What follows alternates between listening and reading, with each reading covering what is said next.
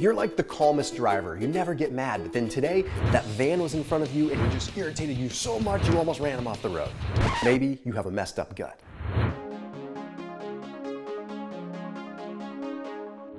All right, so road rage may not be like indicative of a messed up gut, but uh, if you're looking at the big picture, maybe. So here are three mental signs that your gut is out of whack, that you might have some microbiome dysbiosis. So first off, we have to look at the two ways that our gut communicates with our brain, and I'll make this very short. Okay, the vagus nerve is the main one. Okay, the vagus nerve is a big nerve that connects our gut all the way up to our hypothalamus and also to our limbic system, which is like our decision, like emotional driver. So if we have a messed up gut, that can very much signal our brain to be messed up too. The other side is hormones. Now that also has to do with our nervous system because our gut communicates with our central nervous system. That affects our serotonin production, our feel good neurotransmitter, which therefore affects the cascade of hormones we produce. So at the end of the day, it all comes back down to the nervous system because we have 100 million nerve cells within our gut that are all receiving signals from our gut bacteria. So anyhow, let's jump right in. Now the thing to know is if you have one of these, it doesn't mean you have dysbiosis, but if you have all three, it makes sense to maybe look at gut dysbiosis and start having some probiotic intervention or maybe just making some changes with the fiber that you consume to try to make a change because it's an inexpensive way to make a change. And if all the ducks line up, then, well, if it walks like a duck, talks like a duck, then maybe it's a duck. Okay, so the first one is insomnia. And this needs to be like insomnia that sort of came on a little bit randomly. Maybe you never experienced insomnia before, but then you had a bout of stress and it just cascaded, right? It triggered it. Well, check this out. There's a study that was published in the journal PLOS One that found that there was a very powerful positive correlation between a diverse microbiome and sleep efficiency and sleep time. I'm a bigger fan of sleep efficiency. Okay, sleep efficiency is where you fall asleep fast, you hit your restorative phases of sleep fast, and you maybe don't need as much sleep time because you're efficiently sleeping. So a good diverse microbiome is associated with that, but that doesn't tell the full picture. Let's dive in more. They found that specifically a richness in Bacteroidetes was associated with sleep efficiency. Bacteroidetes is also the bacteria that's associated with relatively lean people and just fit people in general, but let's keep on moving. They also found that Bacteroidetes and Actinobacteria, like when they were in more diverse forms, there was an increase in gamma aminobutyric acid, GABA. If you've ever heard of GABA as a supplement or anything like that, it allows you to be more relaxed. So we tilt towards that GABA scale, which means we can fall asleep easier and stay asleep easier and just be calmer in general.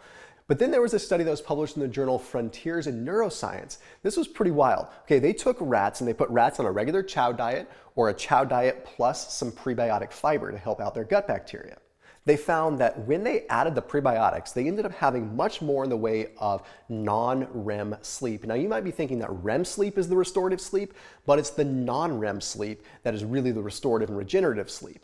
REM sleep is more like defragmentation, kind of a different world. So, hmm, interesting thing there. But then when they exposed these rats to stress, they found that they were able to have sleep rebound much better. So if they woke them up, they fell asleep much faster. Or if they exposed them to stress during the day, it didn't affect their sleep as much, made them more resilient. So if your gut biome is out of whack, well, you're not resilient enough and little things are going to wake you up. The number two one is are you just in a cruddy, sour mood all the time? Remember, 90% of our serotonin is made in our gut, and 50% of our dopamine is made in our gut. Now, a polite nod to the fact that the serotonin made in our gut is not always the same serotonin that we use in our brain. It doesn't always enter, but a good portion of it still does. So let's look at this a little further. There was a study that's published in the journal Gastroenterology. It took a look at healthy women with no issues, okay? And it gave them yogurt, which obviously had like prebiotics, probiotics in it. It gave them um, milk along with a light probiotic supplement, and then it had a non-intervention group. And they did a bunch of like brain imaging and scans and everything like that. And they gave them these doses for two times a day for four weeks. They found that the women that had the fermented milk, okay, that had the yogurt, right? They ended up responding to stress much better. They remained much more calm with an emotional task than the group that did not have intervention. Pretty wild, demonstrating that having a more diverse microbiome and taking care of that made you more resilient and less likely to maybe be in a cruddy mood. So, yeah, you can add these things in. By the way, the probiotic that I recommend is a prebiotic and a probiotic in one. It's called a synbiotic. The one that I use is called Seed. If you check out the link down below in the description after this video, you can check them out. There is a code you can use, Thomas15. It'll save you 15% off as well. So I highly, highly recommend them. You've probably seen me talk about them a couple times in my videos. I just really like the way they're pioneering a lot of the research when it comes down to probiotic research and just overall gut biome research. They are really becoming one of the leaders, which is phenomenal. They also have this thing called Seed University where they educate kind of the masses on the microbiome. But anyway, there's a link down below. It has a capsule inside a capsule. So if you look at the footage, it has like a little teeny capsule inside a bigger capsule. So it breaks down in different stages of your gut, which really can potentially help getting the right kind of bacteria there. So check them out and use that code to save a couple bucks down below in the description. Here's something kind of wild about the adrenals though. A lot of times we think about adrenal fatigue and all this and that, and I'm kind of a believer that adrenal fatigue doesn't necessarily exist. I feel like we have possible, uh, maybe some degree of adrenal insufficiency, but more so it's beyond just that.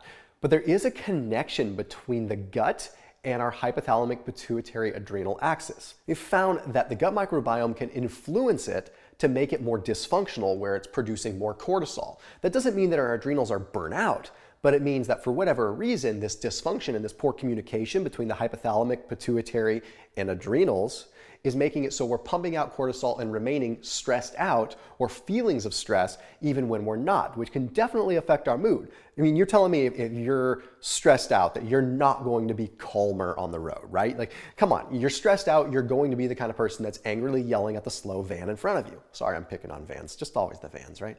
Sorry if you drive a van.